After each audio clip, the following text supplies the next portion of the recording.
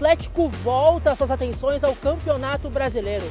O técnico interino Wesley Carvalho comandou na manhã desta sexta-feira aqui no Caticaju o primeiro treino, de ouro no confronto contra a equipe do Fortaleza, no próximo domingo, seis e meia da tarde, na Arena Castelão, no Ceará, em jogo válido pela 14ª rodada da competição.